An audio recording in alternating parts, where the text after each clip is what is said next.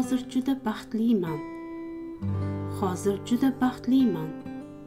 Bir kun kelib alloh meni shunday shodlikka ko'mib tashlaydi deb o'ylamagandim.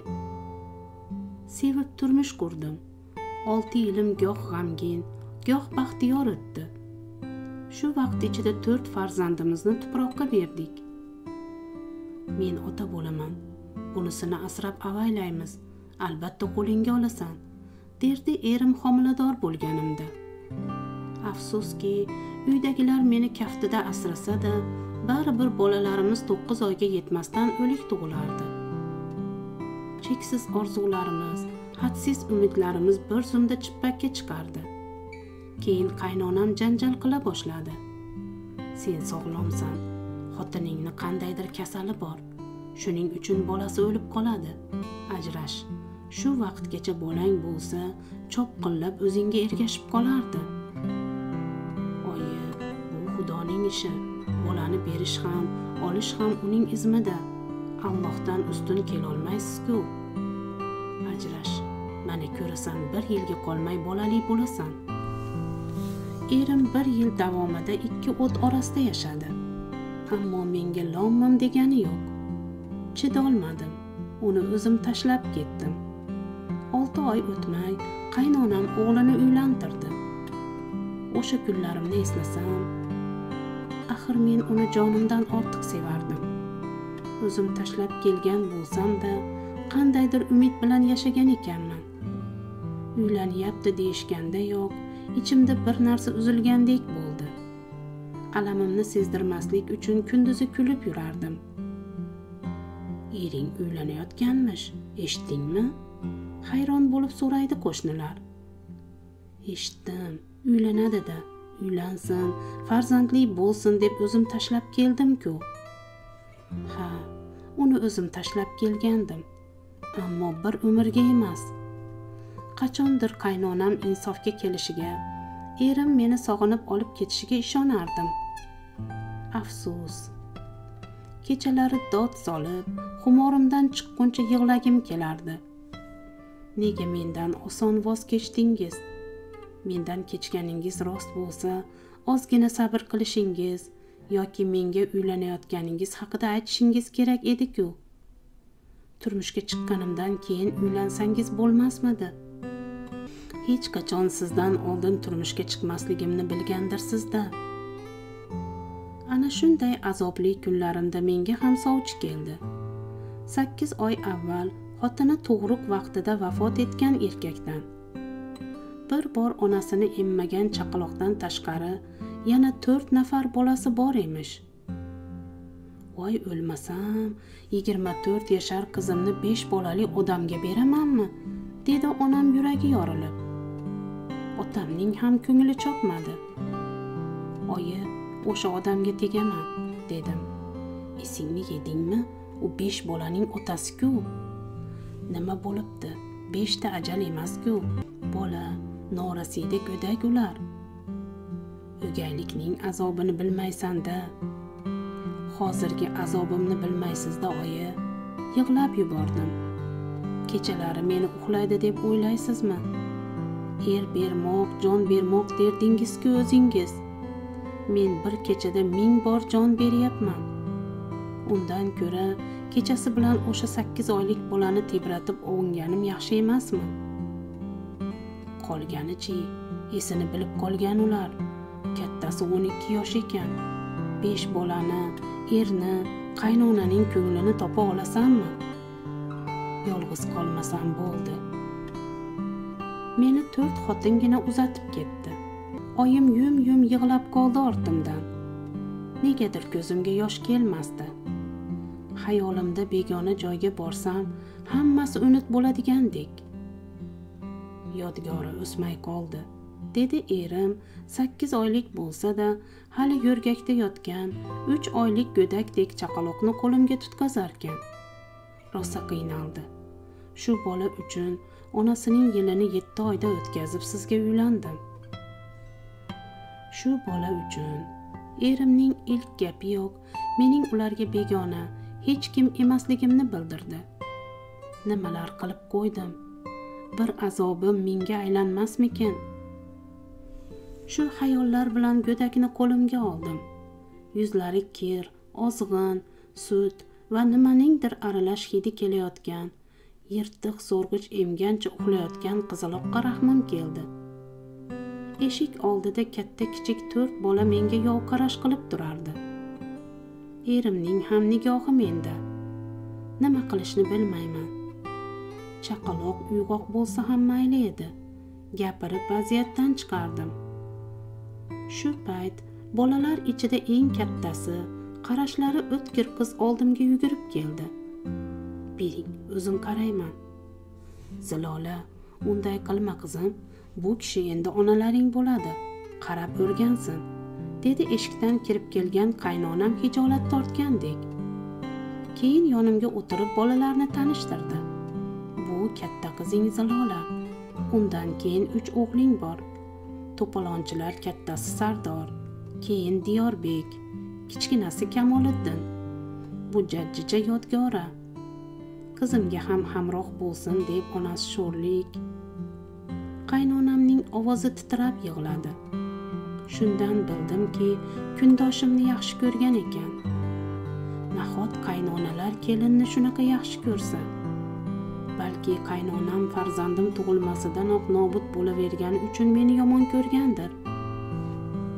Shunday qilib oila a'zolarim bilan tanishib ham oldim. Birinchi ishim uy tozalash bo'ldi. Ungacha yodgoraga zilola bilan qaynonam qaradi. Joyni chinnidek qilgunimcha kech kirib qoldi. Chunki sakkiz oyda ro'zg'orda ayol bo'lmagani sezilib qolgandi. Qaynonam bilan zilola naridan beri yig'ishtirib yurgan bo'lsa kerak. Keyin ovqatni solib o'g'illarimni cho'miltira boshladim. O'g'illarim uchta o'g'lim bor mening. Cho'miltirayotganda yuragimda faxrmi mehrmi uyg'ondi. Allohim o'zingga shukur meni bir zumda besh bolali onaga aylantirding. Sho'rlik bolalarning toza kiyimi yo'q ekan.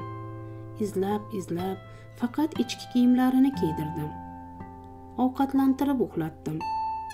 Shu vaqt mobaynida ular menga bir og'iz ham gapirishmadi. Oxiri yodgorani yuvintirmoqchi bo'ldim. Yechintirib qo'rqib ketdim. Shu qadar ozg'inki uxlatish oldidan zilola ovqat ko'tarib keldi. Kartoshkasini ezib yediraylik. Bu hali kichkina sut bersakchi. Sigirimizning suti kam tugadi. Sho'rlik bola hali oshqozoni ham yaxshi rivojlanib bo'lmagandir. Qanday qilib ovqat yediraman bunga? Zilolaning gapiga kirib ozroq ezilgan kartoshka yedirdim. Orqasidan shirin choyni ko'proq ichirdim. Icha turib uxlab qoldi. Zilola olib beshikka belay boshladi. Bechora qizcha o'zi hali go'dagu bola qarab yuribdi. Ichim ezilib ketdi. Hamma uxlagani yotdi. Men xayol surib qoldim. Uxlamaysizmi? Erimning gapidan yuragim orqaga tortib ketdi. Nahot? Men ahmoq bu yerga kelayotib faqat bolalar haqida o'ylabman erim haqida bir bor bo'lsa-da fikr yuritmabman. U bilan qanday yashayman? U endi juft halolim. Dahshatga tushdim. Shoshib bolalarning kiyimini yig'ib yuvishga kirishdim. Ertaga yuvarsiz erim meni kutardi. Men esa qochib ketsammikin deb o'ylardim. Hozir yuvib qo'ymasam bo'lmaydi. Ertalabgacha qurishi kerak. Bolalarning ertalab kiyishga kiyimi yo'q. Shu payt baquvvat qo'llar yelkamni siqdi. Rahmat sizga. Bolalarimga shunchalar mehribon bo'lasiz deb o'ylamagandim. U shunday deya kirib ketdi. Yarim kechasigacha kir yuvib uyga kirdim. Zilola uyqusirab beshik tebratardi. Uxla bolam bu so'z yuragimning tub tubidan chiqdi. Singlingga o'zim qarayman. Yodgora kechasi bilan g'ingshib chiqdi. Nima qilay? Qorni och. Shirin choy qilib ichiraman. Bir soatda yana uyg'onadi. Uxlaganday bo'lmadim. Zilola shu paytgacha qanday qaradi ekan? Sho'rlik. Yodgori har yig'laganda sakrab turadi. Meni ko'rib yana yotadi. Ertalab sigirni o'zim sog'dim. Voy vo sigirimizning suti ko'p chiqibdimi?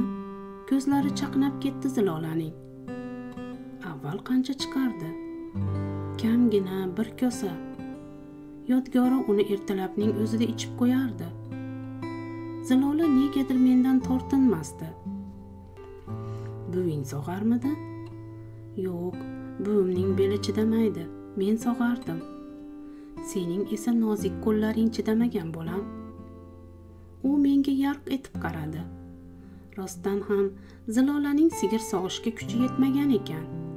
Kechqurun ham sigir ko'p sut berdi. Yodgorani bemalol kechasi bilan to'ydirsak bo'lardi. Bundan xursand bo'lsam-da kech tushishini istamasdim. Kecha erim uxlab qoldi. Bugunchi bugun nima qilaman? Kecha yodgorani yuvintirayotib shamollatib qo'ygan ekanmanmi? Kechga borib issig'i chiqdi. Tinmay yig'lardi. Dori berib u uydan bu uyga ko'tarib allalardim. Qani uxlasa? U uxlaguncha erim ham uxlab qoldi. Yengil nafas oldim. Yodgora tinchlangach beshik yoniga cho'zildim. Kimdir sochimni siladi. Ko'zimni ochsam erim. Qo'rqib ketdim. Charchadingizmi? Tong otganini ham sezmadingiz. Yodgori ham uxlatmadida sizni. U shunday deya chiqib ketdi. Uyg'otish uchun sochimni silabdida bir haftacha faqat bolalar bilan ovunibman. Yodgora ham menga ancha o'rganib qoldi. Erim esa u meni tushunyapti. Yodgorani uxlatgunimcha uxlab qoladi. Beshik yonida yotaman. Bir kuni yarim kechasi qo'rqitib yubordi. Ustimga ko'rpa yopayotgan ekan uyg'onib ketdim. Meni titroq bosdi. Sovqatib g'ujanak bo'lib olibsiz. Ko'rpangizni bolalar tortib olibdi. Mana shu ko'rpani alohida yopinib yoting.